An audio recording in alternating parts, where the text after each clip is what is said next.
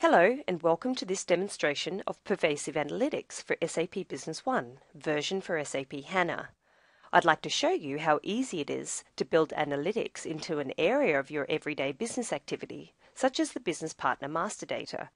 To do this, I'm going to create a very simple query to give me an overview of every sales employee in my company and their sales performance by customer.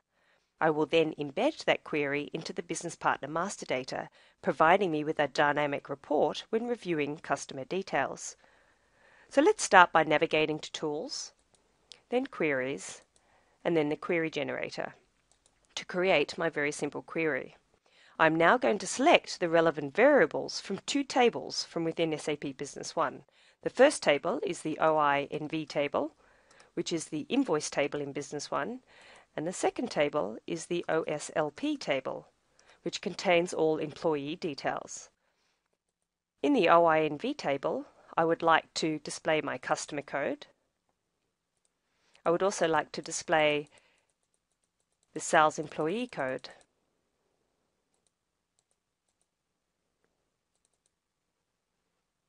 and my document total. In the OSLP table, I'd like to display the sales employee name. I'm now going to execute my query to check that all the relevant details are displayed. Now I'm able to save my query and I'm going to call it Sales Employee Performance.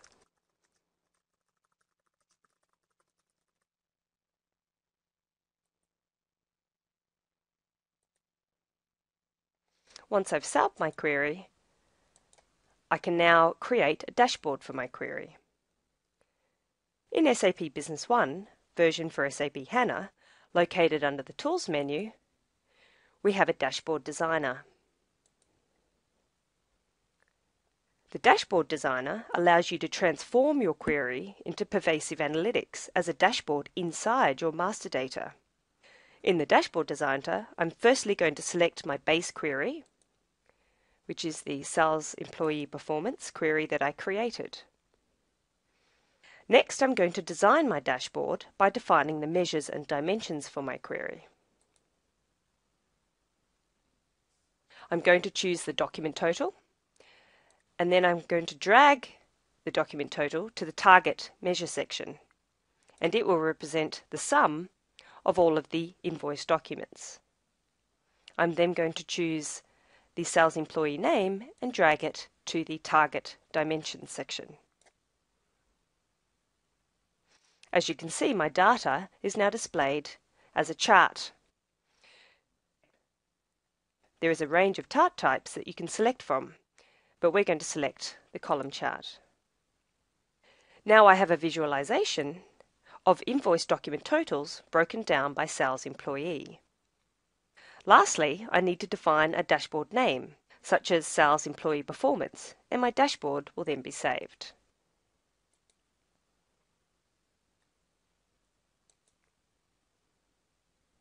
I now need to link my dashboard to a specific business process or business activity. In this case, I'm going to link my dashboard to my business partner master data. And then I'm going to link the business partner code dimension to the customer code defined in my query.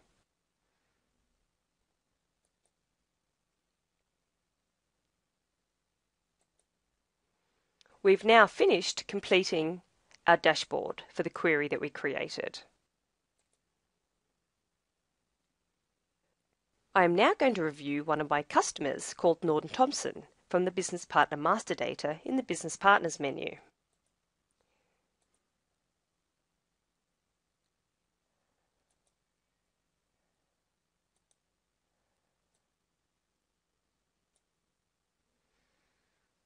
You can see on the right side of my Business Partner Master Data window, there is an Analytics tab. And by clicking on this, it displays several pervasive analytics dashboards, including the one that we've just defined. The dashboard displays three sales employees and their sales performance against this particular customer, and I can quickly gain a view of which sales employee is performing the best. Another great feature of having pervasive analytics as a dashboard inside your master data, for example, is the option to display this data in your cockpit.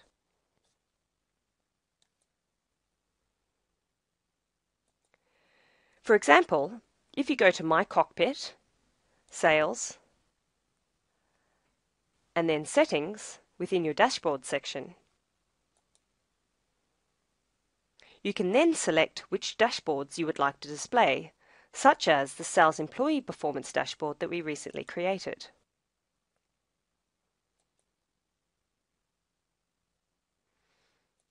So now we have a sales employee dashboard that does not have any relation to a specific business partner, but it gives me an overview of all of the sales employees across my organization and their sales performance. This is a great example of demonstrating pervasive analytics in SAP Business One, version for SAP HANA.